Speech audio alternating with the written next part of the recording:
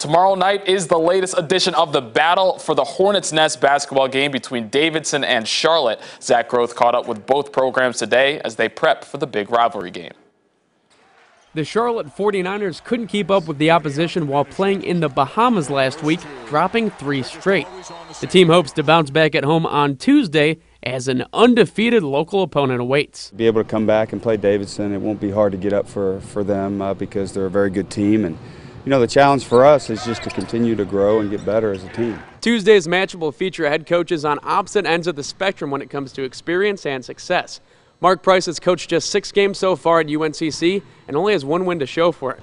Bob McKillop has been doing it here at Davidson since 1989 and picked up victory number 500 in the Wildcats' last game. When you um, reach any milestone, it gives you a chance to reflect back upon uh, the experiences and, and certainly all the people that were part of it. Anytime you, you build a system, you have to find the right kind of players that fit that system, and they've done a really good job of that.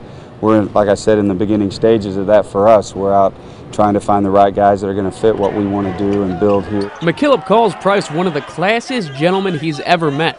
A stark difference to the type of person he was when he started coaching at Davidson. I was an arrogant, abrasive New Yorker came down here thinking I could wave a magic wand and ride off into the sunset. And uh, little did I know how um, I had to be uh, brought to my knees in order to understand what uh, coaching is all about. Learning and adapting played a major part in McKillop's rise at Davidson. Price and the 49ers will try to teach him one more lesson on Tuesday. Zach Groth, Fox 46 Sports, WJZY.